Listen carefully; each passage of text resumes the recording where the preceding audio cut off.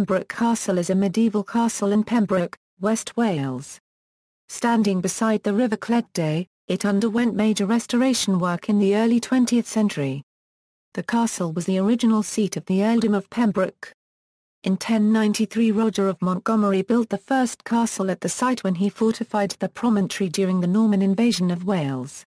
A century later this castle was given to William Marshall by Richard I. Marshal, who would become one of the most powerful men in 12th century Britain, rebuilt Pembroke in stone creating most of the structure that remains today.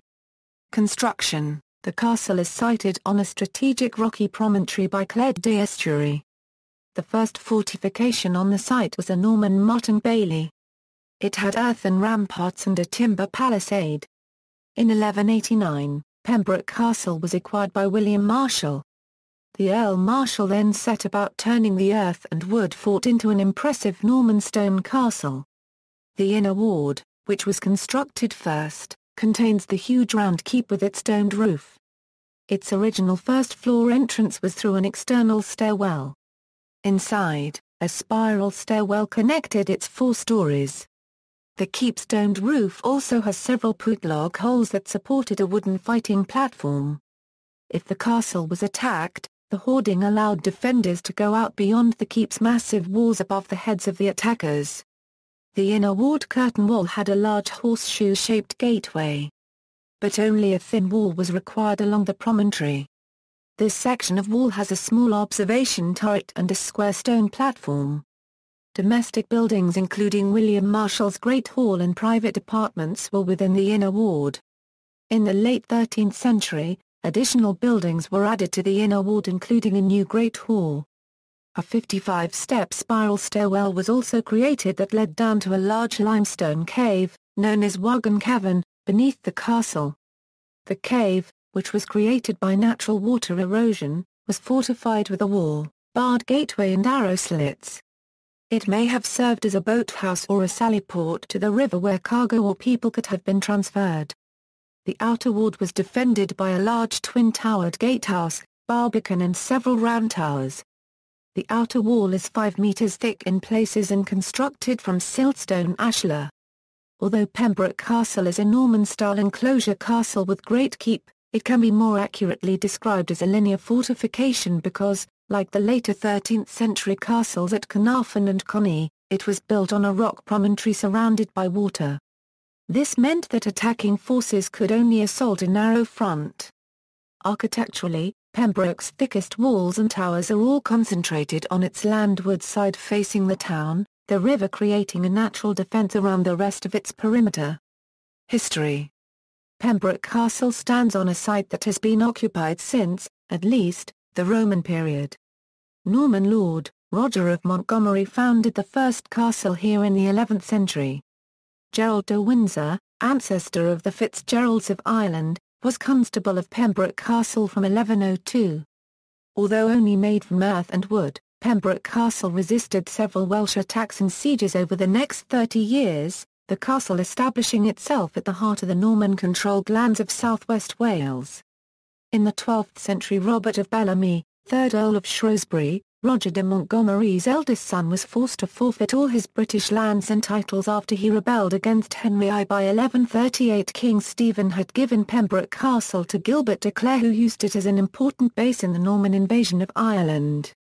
In August 1189 Richard I arranged the marriage of Isabel, de Clare's granddaughter, to William Marshall who received both the castle and the title, Earl of Pembroke. He had the castle rebuilt in stone, establishing the Great Keep at the same time.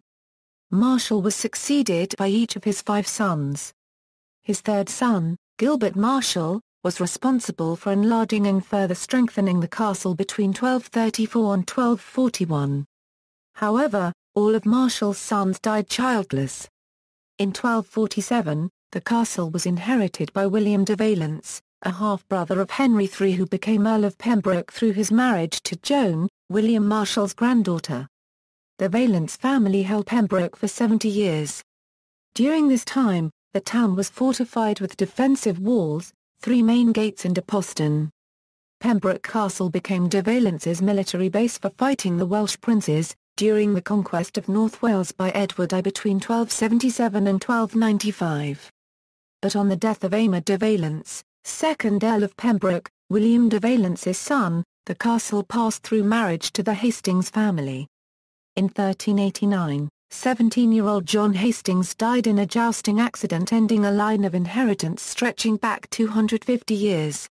Pembroke Castle then reverted to Richard II. Short tenancies were then granted by the Crown for its ownership. By 1400 Owain Glyndwr Maec Cranach had begun a rebellion in Wales.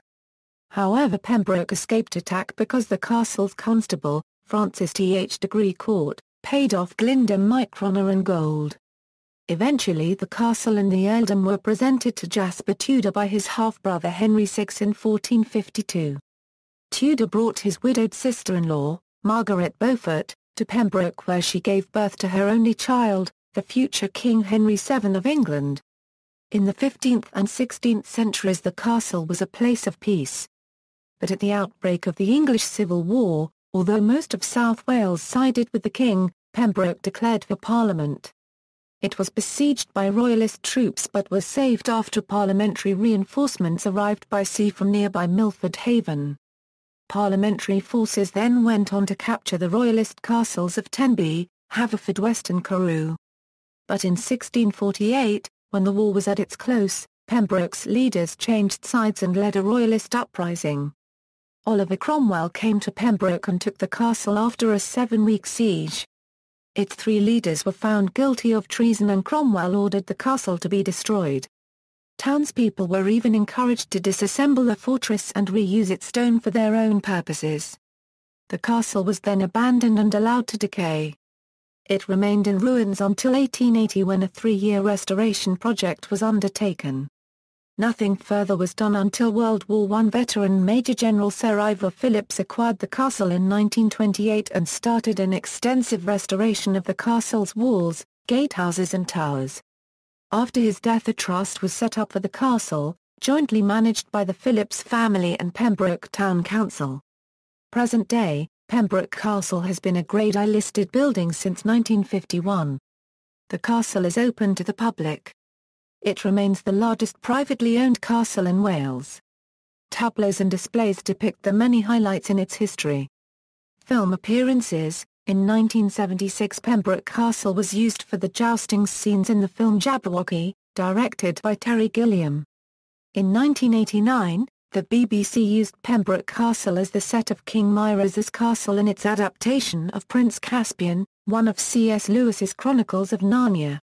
In 2011, Pembroke Castle was used for some scenes of Richard II shown as part of the BBC's Shakespeare season The Hollow Crown. Pembroke appeared one of the opening scenes in The Lion in Winter, in which the future Richard I of England jousts with another knight. Gallery. References. External links, Pembroke Castle website, Castles of Wales website with pictures of the castle, Great Castle of Wales website with more pictures www.geograph.co.uk, photos of Pembroke Castle, Pembroke Castle, description and sources.